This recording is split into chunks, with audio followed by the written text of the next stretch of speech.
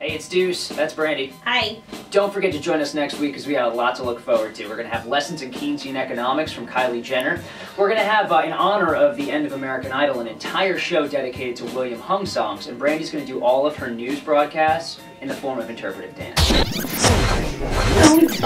We've Oh. got tickets for Seether and Three Doors Down. We're gonna actually go fifth row, fourth row, all the way to the first row, all next week.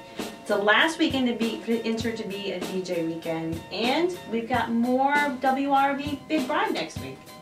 Okay. More well, money. Who's this guy? Still here. He's still here, so he can stay.